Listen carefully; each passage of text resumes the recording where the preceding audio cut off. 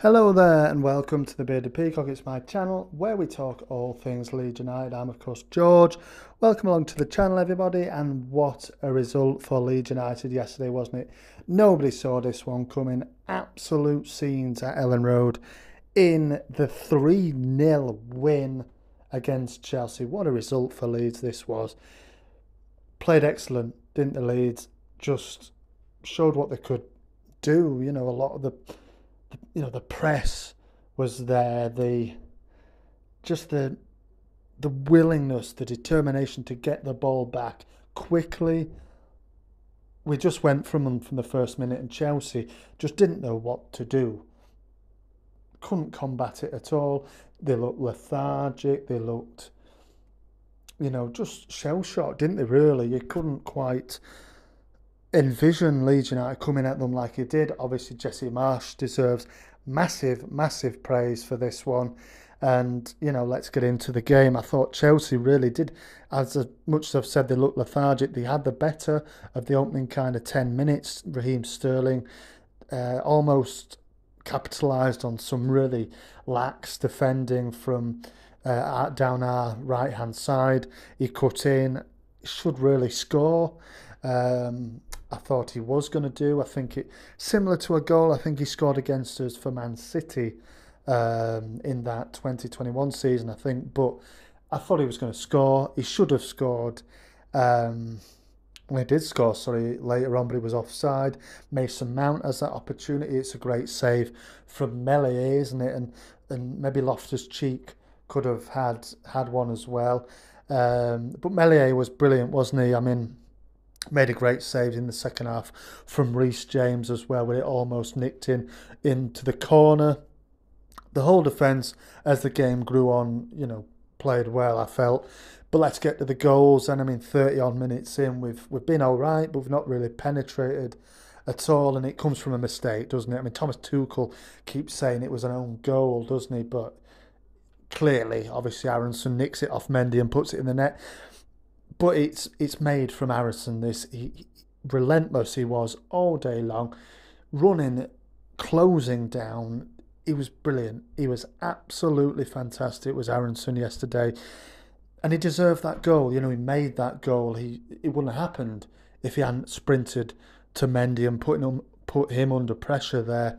It was brilliant all day long, and I'll be covering him in a little bit more detail in my video, All American Aren't We, of course, where I look at Aaronson and Adams. Both were brilliant in this in this win, by the way, weren't they, of course? And let me know how impressed you've been with, with the two of them in the comments below. But then we get to, you think, all right, 1 0 up, let's see how we go. But it gets better.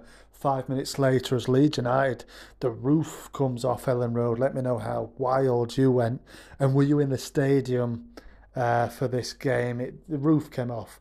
Uh, Rodrigo nods in. Nothing Mendy can do about this one. Is a, a whipped, a deliciously whipped cross in from Jack Harrison, met by Rodrigo, and he is the top scorer in the Premier League. Currently got four goals in three games, of course, and delighted, absolutely delighted when he scored that visibly. Obviously, there he is big smile on his face, and we are 2 0 up in the 37th minute or 39th minute, is it? Uh, yeah, a few minutes before half time, we're 2 0 up, but shades of Southampton creep in. But then midway through the second half, we kill the game off. James is released down the left hand side, whips the ball in. Rodrigo sort of miscontrols it a little bit, and there is Harrison to whip or stab the ball in, really. No questions asked. He'll ask the question if he's offside after the ball's in the net. He's not offside.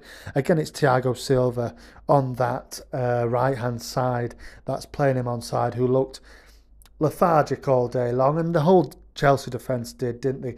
And that man, Koulibaly, just couldn't live with Leeds United, could he? Uh, silly first yellow card, dragged back Aaronson, and then obviously in the last few minutes Gelhardt comes on, he's running at him.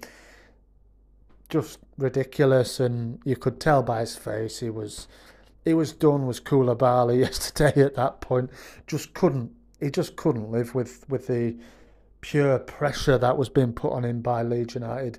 Um, and the whole Chelsea team just looked, yeah, gone of ideas. But Leeds were pressing them, pressing them, pressing them. It was Jesse Marsch's football at its very best. And I know a lot of people now, I mean, they should have been turned around to Jesse Marsch already, but now I think they completely are.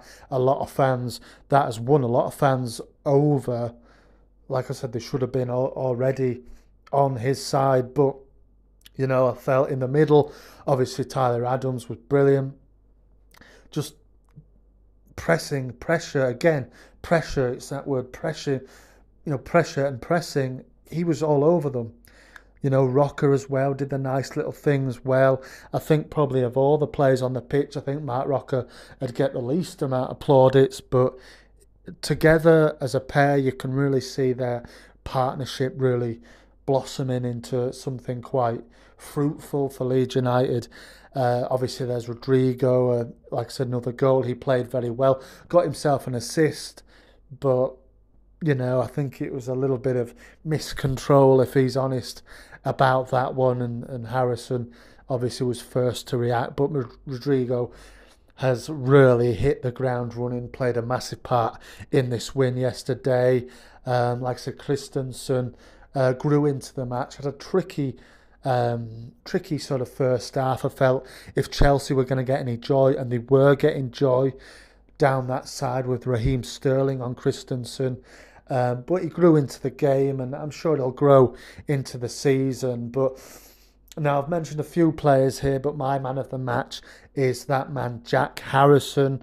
I think Sky Sports gave it to, to, to Jack as well, didn't they? But there's a few. I mean, there's a few that's up for debate for a few fans. I know Tyler Adams won the official man of the match on the website, I believe. Uh, but Jack, for me, was all over the place and, and caused Chelsea problems all day long. There's some stats on the screen there to, to sort of the numbers from his game. Obviously, got his goal, got his assist, lovely free kick for Rodrigo, and was just a menace to Chelsea all day long. Obviously, Newcastle, we hear today, have had a second bid for Harrison rejected. That was believed to be 20 million. Let me know in the comments. For me, obviously, like many people, Jack Harrison is just a no sell. Just don't sell him the way he start the season. Um, I'm not sure, you know. I think as it gets closer and closer to deadline day, we might see our resolve tested uh, in terms of a, a, big bid coming in for Harrison. But let's wait and see. He was absolutely, uh, you know, mesmerising, wasn't he, on on Sunday afternoon at Elland Road. There we see, of course, Robin Koch and Aaronson. Koch um, was another rock at the back, I felt. Um, and Llorente next to him as well. Both of them played the part in this win. Obviously, it's a first clean sheet of the season. It's a first clean sheet at Elland Road for Leeds United, or I think possibly um, of you know any game um, since November last year, where we beat Crystal Palace uh, and shut them out a one 0 win. Uh, obviously, Raphinha scored the late penalty. That's the last time Leeds United um, had a clean sheet at Elland Road. I think it might be in all competitions, but yeah, look, it was fantastic. Let me know if you were in the stadium yesterday and what the atmosphere was like because it looked and it sounded absolutely electric. The boys responded and came up with what is a real famous result, really. A first win against Chelsea since 2002, I think. Um, and yeah, what a what a win. It's been a great start to the season so far. Brighton are up next to have had a similar start, so it's going to be a difficult game. We have yet to win at the Amex, but we've got to enjoy this win. And we're sitting in third position. I felt like Jesse Marsch deserves a lot of credit. There was a lot of good game management that went into this game, uh, whereas last week at Southampton it was lacking a little bit. But all round, very, very impressive. Um, Harrison, Aaronson, Rodrigo, uh, and Adams are my pick of the players that played well. Let me know in the comments yours. But thank you very much for what for watching.